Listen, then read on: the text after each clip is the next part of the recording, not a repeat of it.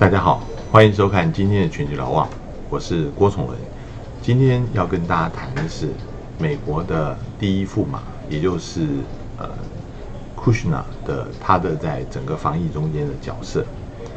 川普总统上任以后，他任用亲贵哦，毫无顾忌。现在所谓第一驸马库什纳，虽然只是白宫顾问，他下面只有一个美国创意办公室。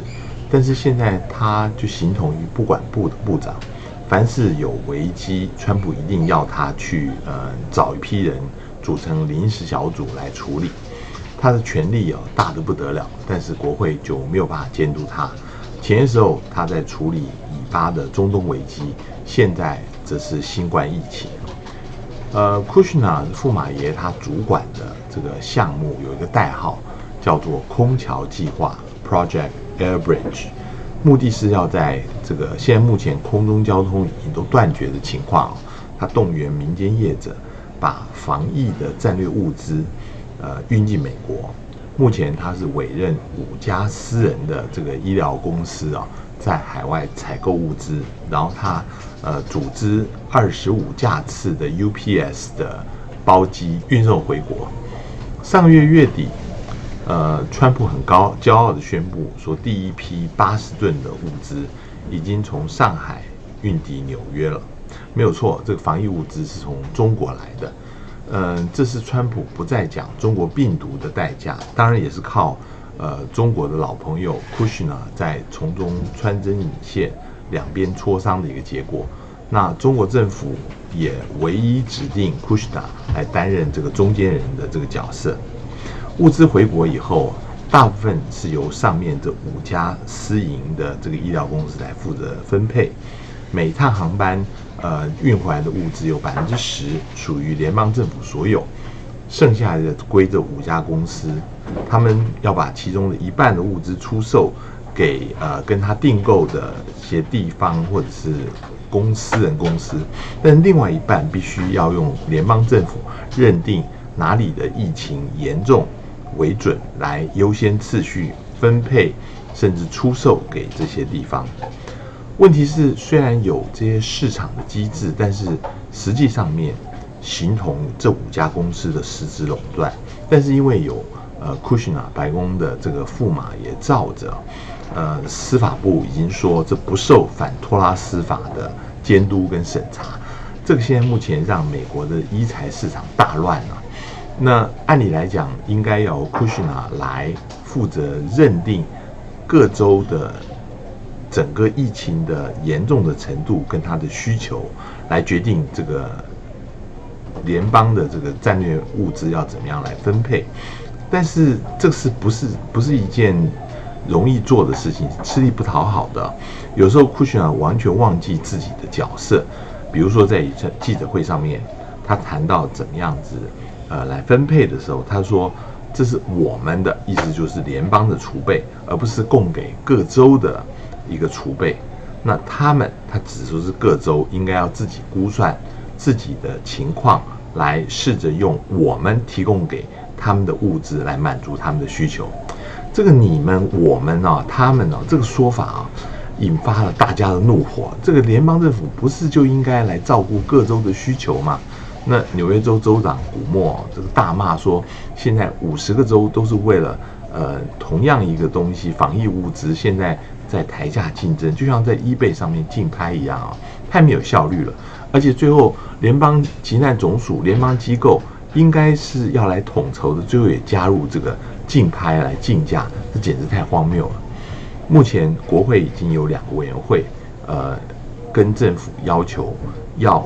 解释 Kushner 的小组究竟在这个分配物资上面，呃，究竟扮演什么样的角色，而且要展开调查。Kushner 的另外一个麻烦也跟国会有关。上个月我们知道有通过了二点二兆的纾困方案，里面有一大笔啊，其实是给房地产业者的退税。这些房地产业者都是非常有钱的啊。那享享受到这个优惠的，正好是川普家族，还有 Kushner，。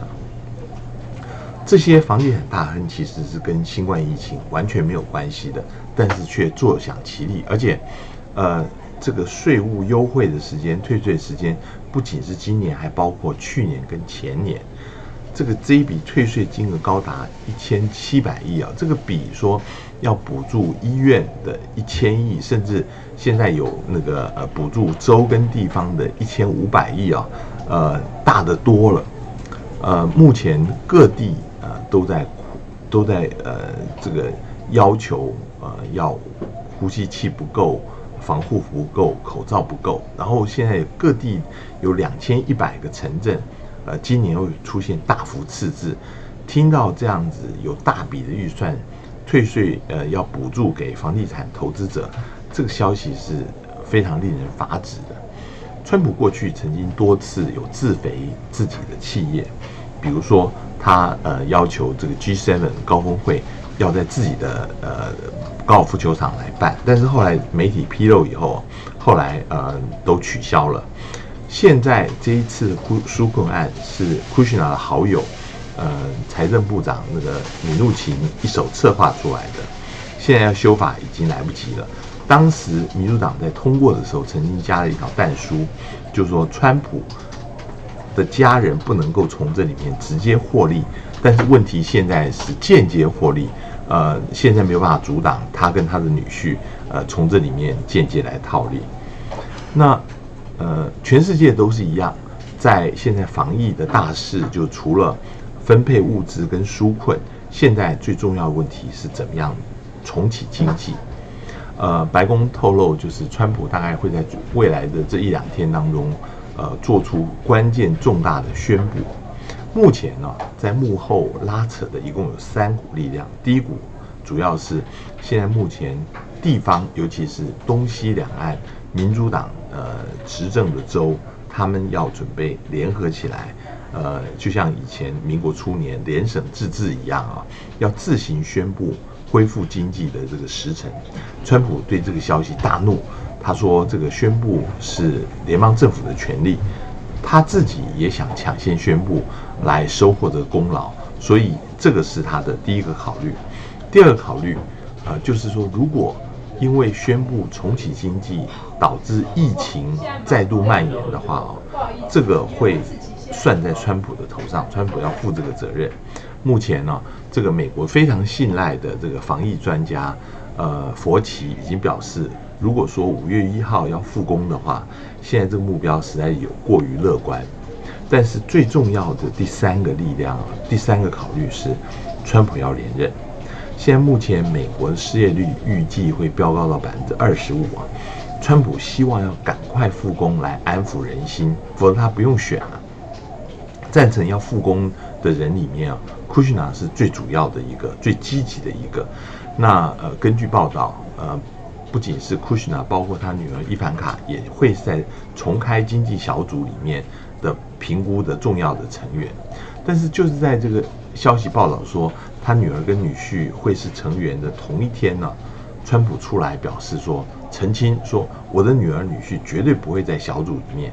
这个有一点此地无银三百两的这个意思。不过大家都知道，不管库什纳名义上是不是小组的成员呢，他绝对会是川普。最重要咨询的对象。今天谢谢你的收看，我们下次见。